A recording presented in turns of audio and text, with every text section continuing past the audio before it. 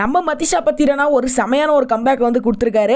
அது என்ன கம்பேக் அதுக்கு முன்னாடி எப்போ அவர் செட் பேக் ஆனாரு அப்படின்றதே நிறைய பேருக்கு தெரியாமல் இருக்கும். ஸோ அதுவும் இந்த வீடியோவில் நம்ம டீட்டெயில்டாக பார்க்கலாம்.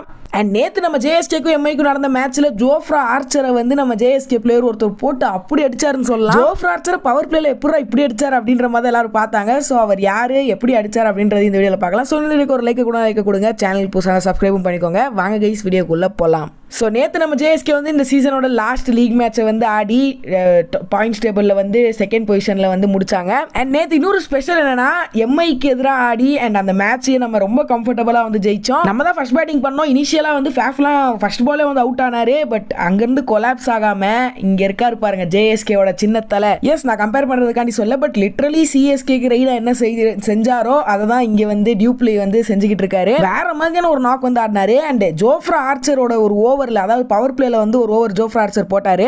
அதுக்கு முன்னாடி ஓவரில் தான் சாம் கரன் வந்து ரீசா ஹென்ட்ரிக்ஸோட விக்கெட்டும் எடுத்திருந்தார். ஸோ ஜேஎஸ்கே வந்து ஒரு இக்கட்டான நிலமையில இருந்தாங்க. பட் அங்கேருந்து ஜோ ஆர்ச்சரை டேக் ஆன் பண்ணாரு பாருங்க. அந்த ஓவரில் மட்டும் பதினெட்டு ரன்னு ஒரு சிக்ஸ் ரெண்டு ஃபோரு அண்ட் ரெண்டு டூஸ்ன்னு நினைக்கிறேன். லிட்ரலி எல்லாரும் வாயை பொழந்து பார்த்தாங்க டியூப்ளியை ஸோ இப்போ எல்லாரும் இவரையும் சிஎஸ்கே வாங்கியிருந்தா கொஞ்சம் நல்லா இருந்திருக்கும் அப்படின்ற மாதிரி பேசிட்டு வந்துகிட்டு இருக்காங்க. பட் டியூப்ளி வேற மாதிரி பிளேயர் மதிஷா பத்திரனாவை பற்றி பார்க்கலாம். ஸோ பத்திரனா வந்து கம்பேக் கொடுக்குற அளவுக்கு அவருக்கு என்ன செட் பேக் வந்து இருந்துச்சு அப்படின்னு அப்படின்ற மாதிரி சில பேர் கேட்கலாம். எஸ் அவருக்கு வந்து ஒரு செட் பேக் வந்து இருந்துச்சு பட் அது நிறைய பேருக்கு வந்து தெரியல.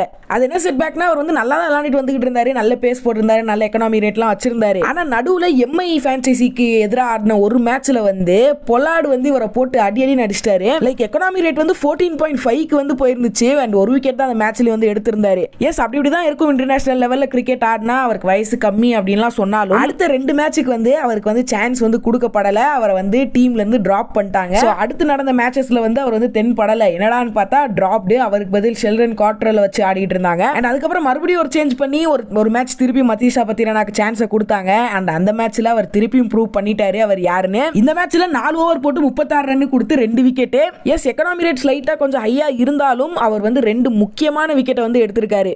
கிறிஸ்லினோட விக்கெட்டும் சிம்ரன் இட்மயர் வந்து ஃபிஃப்டி ஃபோர் ரன்ஸில் ஆடிக்கிட்டு இருந்தாரு. அவரோட விக்கெட்டும் வந்து எடுத்திருந்திருக்காரு. ஸோ இதுதான் அந்த ஒரு குட்டி கம்பேக் நம்ம மதீஷா பத்திரனா வந்து கொடுத்துருக்காரு எஸ் அவரோட ஏஜ் எயிட்டீன் தான் இப்பயும் இவ்வளோ ஒரு டேஞ்சரான ஒரு பவுலராக தெரியுறாரு. ஸோ இன்னும் போக போக எப்படி இருக்கும் அப்படின்னு சொல்லி யோசிச்சு பாருங்க. நீங்கள் என்ன நினைக்கிறீங்க? சிஎஸ்கேயோட பிளேயிங் லெவனில் பத்திரனா ஆட முடியுமா அப்படின்றத கமெண்ட்ஸில் சொல்லுங்க. இன்னும் ஒரு லைக் கொடுங்க லைக் கொடுங்க. சேனல் புதுசாக சப்ஸ்கிரைப் பண்ணிக்கோங்க. இன்னொரு வீடியோ வந்து உங்களை பார்க்குறேன். Until the shining of you yo boy Mugil bye guys